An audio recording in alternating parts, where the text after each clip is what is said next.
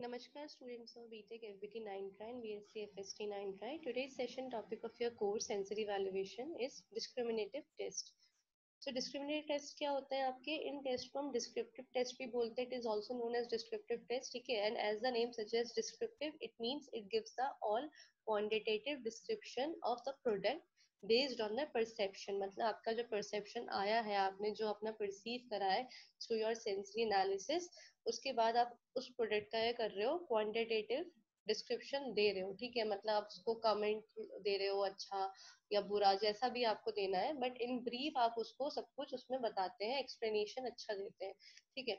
So this is with your descriptive test It is a total sensory description taking into the account all sensation that is perceived. मतलब आपकी जितनी भी sensation आपने perceive करी है ठीक है regarding any product तो उसका पूरा sensory description आपका discriminative या descriptive test के अंदर आता है ठीक है चाहे वो visual हो auditory हो olfactory हो kinesthetic हो kinesthetic मतलब कि आपका जो आप through touch या थ्रू टेक्सचर आप जो पता करते हैं थ्रू बॉडी मूवमेंट्स या फिर थ्रू स्किन अगर आप देख रहे हो तो वो आपका कैनिस्टिक में आता है, ठीक है? और ऐसे आपके जितने भी आते हैं जो आप प्रोडक्ट को इवेल्युएट करते हो सेंसरी वाले जितनी भी चीज़ें आपकी इन्वॉल्व हो रही है, उसको आप कर रहे हो मतलब उसको डिस्क्राइब कर रहे हो, ठीक है? उसका डिस्क्रिप्शन दे रहे हो अच्छे से। There are numerous application for descriptive analysis कौन कौन सी एप्लीकेशन होती हैं? पहले तो आपकी मॉनिटरिंग कॉम्पिटिशन होते हैं मतलब कि जैसे पैनल पैनल मेंबर है, ठीक है? तो आपका चार लोग हैं उसमें, चारों के बीच आपका, चारों ने कैसा डिस्क्रिप्शन दिया है, उसके बीच देखा जाएगा मॉनिटर किया जाएगा कि किसका डिस्क्रिप्शन अच्छा था, किसका नहीं था। सेकेंड स्टोरेज स्टेबिलिटी होती है मतलब कि आप, अगर आपने डिस्क्रिप्शन दे दिया है तो उससे आप जो स्टोरेज भी है, उस फ़ूड का तो वो भी हम पता लगा सकते हैं कि अच्छा अगर हम इतने टाइम बाद उसको कर रहे हैं दोबारा से तो उसमें ये ये प्रॉपर्टी चेंजेस आ रहे हैं। तो कितना उसका स्टोरेज होना चाहिए, कितना नहीं होना चाहिए, कितने टाइम तक वो रुक सकता है। तो ये भी हमें पता चलता है। शेल्फ लाइफ पता चलती है। प्रोडक्ट को और क्या, ठीक है शेल्फ लाइफ हम कैसे मतलब ऐसे कि आप थ्रू टेस्ट या फिर आइडेंटिफाई कर सकते हैं। क्योंकि अगर फ्रेश प्रोडक्ट होगा तो उसका टेस्ट एट्रीब्यूट्स अलग होंगे। अगर थोड़ा आपका पुराना हो जाएगा, दोबारा आप उसका करोगे एनालिसिस तो वहाँ पे उसका थोड़ा बहुत प्रॉपर्टीज़ डिट्रॉइट होंगी तो शेल्फ लाइफ का ही पता चलेगा। फिर आपका प्रोडक्ट डेवलपमेंट मतलब कि वो ये भी बता सकते हैं कि आप और कौन कौन सा प्रोडक्ट इससे डेवलप कर सकते हैं। सेम इंग्रेडिएंट के साथ आप ये भी कर सकते हैं, कुछ अलग एक्सपेरिमेंट कर सकते हैं। क्वालिटी कंट्रोल हो गया आपका, ठीक है मतलब क्वालिटी कैसे कैसे कंट्रोल कर सकते हैं उसकी, ये भी उसको बताते हैं। फ़िज़िकल केमिकल और आपके सेंसरी कोरिलेशन मतलब ऐसे बहुत सारी एप्लीकेशन है आपकी जो डिस्क्रिप्टिव एनालिसिस के अंदर आप इंक्लूड करते हैं, ठीक है। अब डिस्क्रिप्टिव है इट मीन्स थ्रू आउट आपका पूरा क्वांटिटेटिव पूरा डाटा होता है तो उसमें न्यूमरस आपकी बहुत सारी चीज़ें आती हैं। Depending upon the test method use the training can be quite different ठीक है मतलब आप टेस्ट मेथड कौन सी ले रहे हैं तो उसके अकॉर्डिंग आपकी जो ट्रेनिंग है, वो आप थोड़ी अलग हो सकती है। ठीक है टेस्ट मेथड जैसे कि अब आप इसमें आप आगे पढ़ेंगे इसमें दो टाइप की मेथड आती है, एक फ्लेवर मेथड आती है और एक आपकी टेक्सचर मेथड आती है। ठीक है तो दोनों मेथड के अलग अलग ट्रेनिंग भी अलग अलग प्रोवाइड करी जाती है।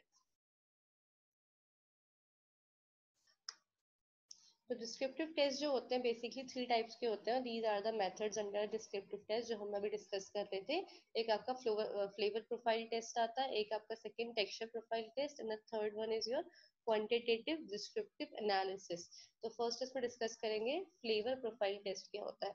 ये मैथड क्या होती है आपकी? फॉर्मल क्वालिटेटिव डिस्क्रिप्शन देती है प्रोसीजर ठीक है? मतलब पूरा ही आपका मतलब जो आपका ये क्वालिटेटिवली डिस्क्राइब कर रही है, ठीक है? क्वालिटी मतलब कि with respect to their taste their flavour their texture जो उसकी क्वालिटी है, उसके रिस्पेक्ट में ये मेथड आपकी डिस्क्राइब कर रही है। बट इसका नाम क्या है? फ्लेवर है तो इट मीन्स ये बेसिकली किससे डील करती है? किसी भी फ़ूड के टेस्ट या उसके फ्लेवर से। This method utilises a panel of four to six screen and selected subject who first examine and then discuss the product in an open session. मतलब आप जब भी हमने जब अभी पढ़ा था screening and selection of panel ठीक है? तो आपके इस इस मेथड के लिए जो पैनल होते हैं, जो मेंबर्स होते हैं, वो स्क्रीन पैनल्स होने चाहिए सिलेक्टेड पैनल्स होने चाहिए फोर टू सिक्स क्वांटिटी में और फिर वो चीज़ को एग्जामिन करेंगे एंड देन लेटर ऑन उसके लिए फिर वो डिस्कस करेंगे। ओपन सेशन होता है जीडी सॉर्ट ऑफ़ होता है ग्रुप डिस्कशन करते हैं फिर वो लोग कि उसमें ये चीज़ थी, ये चीज़ नहीं थी, ये कमी थी या ये चीज़ अच्छी थी, ये चीज़ गलत थी। तो ऐसे आप पूरा फ्लेवर एनालिसिस होता है। फिर उसके बाद एक एग्रीमेंट होता है। एग्रीमेंट तक पहुँचने के बाद जो पैनल लीडर होता है, वो पूरे रिज़ल्ट को एक रिपोर्ट में समराइज करता है, ठीक है? एंड देन ये मेथड आपकी मतलब फिर एक अच्छा एक ऑप्टिमम रिज़ल्ट आपकी कैरी करती है, ठीक है? The method has consider appeal because the result could be obtained rapidly and would obviate the need of statistics. Obviate मतलब कि रिमूव मतलब आपको स्टैटिस्टिक्स रखने की और ज़्यादा कैलकुलेशन करने की ज़रूरत नहीं पड़ती है, ठीक है? इस मेथड से आपको मतलब एक तो आपका स्टैट्स वाला पार्ट तो आपका रिमूव हो जाता है और आपको जो रिज़ल्ट मिलते हैं वो रैपिडली और एक्यूरेट रिज़ल्ट मिलते हैं, ठीक है? तो this is with your flavour profile test अब टेक्सचर प्रोफ़ाइल टेस्ट क्या होता है? Texture profile test as a name suggest क्या एक असेस करती है? टेक्सचर प्रॉपर्टी असेस करती है? किसी भी फ़ूड की टेक्सचर प्रॉपर्टीज़ क्या हो सकती हैं? ठीक है, और ये कुछ स्पेसिफिक इंस्ट्रूमेंट्स के द्वारा की जाती है। वैसे तो वैसे तो सब्जेक्टिव टेस्ट के अंदर हमने जब बात करी थी सेंसरी जब करते हैं तो इंडिविजुअल टेस्टिंग होती है। बट इसमें कुछ कुछ आप अपने इंस्ट्रूमेंट्स भी यूज़ कर सकते हैं, ठीक है? मतलब वाइल्ड टेक्सोमीटर होता है आपका फ्रेबिनोग्राफ होता है, ऐसे करके आपके बहुत सारे इंस्ट्रूमेंट्स होते हैं। ठीक है, जो आपका ऑब्जेक्टिव मेथड के अंदर आता है। तो मतलब टेक्सचर प्रोफ़ाइल क्या है? कॉम्बिनेशन है आपका सब्जेक्टिव और ऑब्जेक्टिव दोनों ही मेथड का, जो हमने प्रीवियस सेशंस में बात करी है। ठीक है this is considerable appeal to the direct link between the specific instrumental measures of these rheological properties of the product and the responses of the panel of specific sensory attributes मतलब कि इस method के through हम एक link एक direct link देखते हैं कि आपका एक इंस्ट्रूमेंट ने जो मेजर किया है रियोलॉजिकल प्रॉपर्टीज़ क्या होती हैं? रियोलॉजिकल प्रॉपर्टीज़ मतलब कि किसी भी फ़ूड की स्टेट ठीक है? वो सॉलिड है लिक्विड है मतलब गैस तो नहीं है बट सॉलिड लिक्विड वाली जो प्रॉपर्टीज़ होती है मेनली इसमें लिक्विड प्रॉपर्टीज़ असेस करी जाती है, ठीक है? तो एक तो आपका एक लिंक क्रिएट हो रहा है, एक तो आपका किसके बीच में हो रहा है? एक तो आपका इंस्ट्रूमेंट जो दे रहा है मेजर्स उसके बीच में और जो आपके पैनल मेंबर है, उनका रिस्पॉन्सेस क्या है? ठीक है तो इन दोनों के बीच का क्या है? टेक्सचर प्रोफ़ाइल डायरेक्ट लिंक है, ठीक है? फिर इसका एग्ज़ाम्पल से टेक्सोमीटर होता है टेक्सोमीटर क्या होता है आपका? किसी भी प्रोडक्ट की क्या करती है? हार्डनेस बताता है, ठीक है? तो टेक्सोमीटर से हम हार्डनेस तो आइडेंटिफाई कर लेंगे, फिर जो पैनल मेंबर्स हैं, वो खुद भी उस चीज़ को टच करके, उसको तोड़ के, उसको सर्च करके, सब तरीके से देखेंगे कि वो कितना हार्ड है। तो ऐसे आपका टेक्सचर प्रोफ़ाइल असेस होता है। So this is all with the session of discriminative testing.